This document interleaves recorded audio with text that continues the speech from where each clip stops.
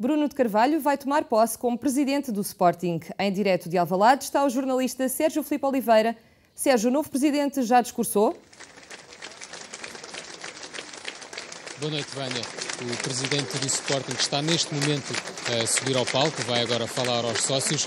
Ele que já tomou posse como, como 42º presidente do Sporting.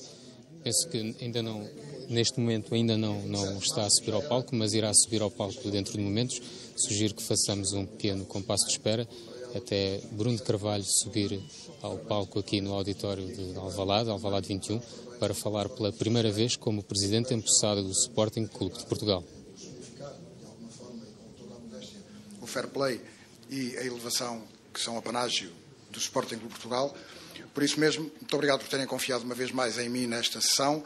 Desejo-vos continuação de muito sucesso. Peço uma calorosa, muito sincera, muito entregue e estimulante ovação para Dr. Bruno de Carvalho. Muito obrigado.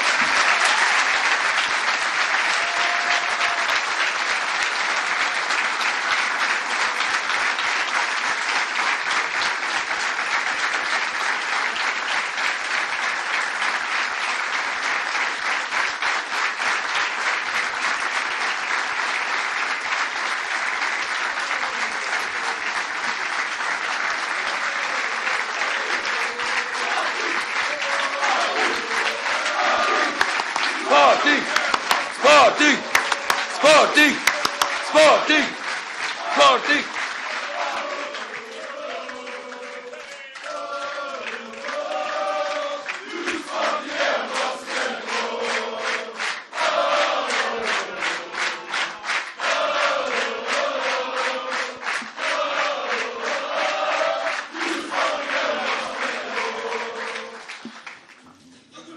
Deixem-me primeiro, antes de começar aqui a ler o meu, o meu discurso, vos dizer o seguinte.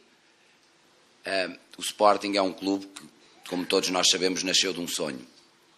Um sonho de alguém que se lembrou um dia de fazer um clube com esta dimensão e que tanto nos orgulha. Também eu tive um sonho. E passado 35 anos desse sonho, no antigo estádio José de Alvalade. É uma honra e um prazer muito grande estar aqui como presidente do Sporting Clube Portugal.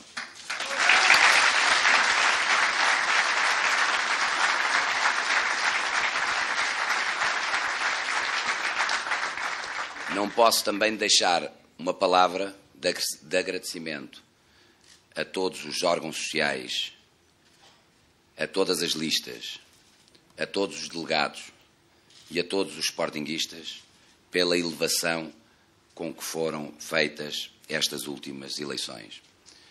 Os funcionários, os colaboradores, todos aqueles que estiveram envolvidos estão de parabéns, porque é esta a imagem que nós queremos passar do Sporting Clube Portugal.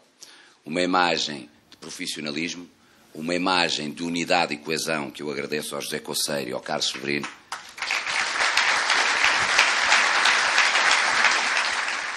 Palavras de Bruno de Carvalho na cerimónia de tomada de posse enquanto novo presidente do Sporting.